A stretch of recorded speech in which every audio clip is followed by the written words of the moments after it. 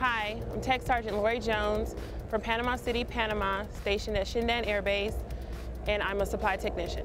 We deal with a variety of customers. We supply for most of Shindand, and you know we pick up, deliver, inventory, put up property, from office supplies to defect items, supporting the other establishments on this base as far as like DynCorp and civilian personnel. Without us, this base would not run. I love my job because of the people.